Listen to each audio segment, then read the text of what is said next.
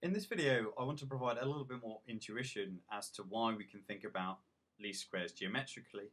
In particular, I want to explain why we can think about the column space of the matrix of independent variables of x as representing a kind of vector space.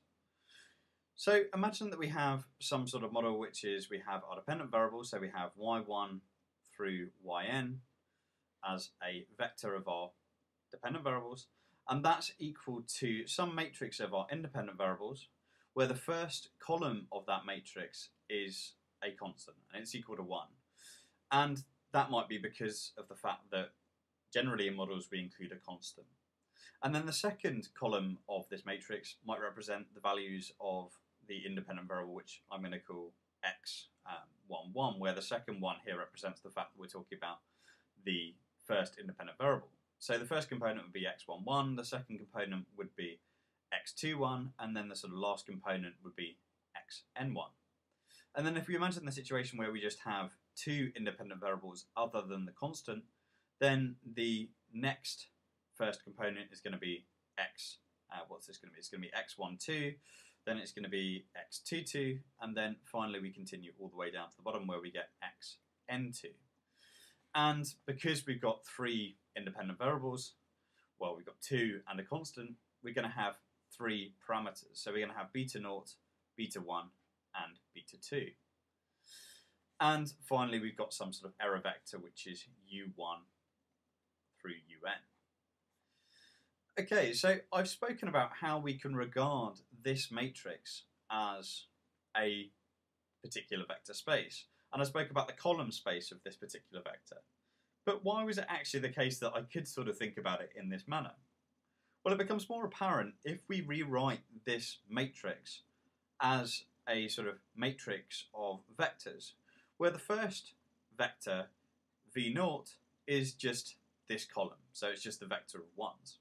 The second vector, v1, is just the vector of the column, which is all the observations of our first independent variable. And then the final vector is the vector which is this column here, which is the vector of the second independent variable observations. And we're still multiplying this through beta naught, beta 1 times beta 2, well, and beta 2 rather, and then we're adding on our error vector, u1 through un. Now, if I expand this out, we can just do it as if we're multiplying two vectors. The first component is just going to be v0 times beta 0, the second one v1 times beta 1, and then v2 times beta 2. So if I write that out in full, we've got beta 0 v0 plus beta 1 v1 plus beta 2 times v2. And then finally we've got our error vector u. So when you write it out in this form, it, come, it becomes quite apparent essentially what the role of the parameters is essentially what the parameters do, beta naught through beta 2, is they tell us how much of this particular vector and this particular vector and this particular vector do we need to get as close to y as possible. So essentially, if we were to represent this sort of diagrammatically, the idea is that there is some parameter vector, uh, sorry, there is some dependent variable vector y, which we're trying to get as close to as possible. And so what these parameters tell us is that in order to get as close there as possible, we go along v naught and we go beta naught times v naught along that one. And then we use a different vector. So now we're looking at v1 and then we must follow that for, let's say, beta 1. So that second vector is beta 1 times v1. And then finally we've got some other vector, and obviously this is in more dimensional space than I can actually draw, which is v2, and we go b2 times v2 along that. And the idea is that this particular space, which is spanned by these three vectors, represents a kind of vector space.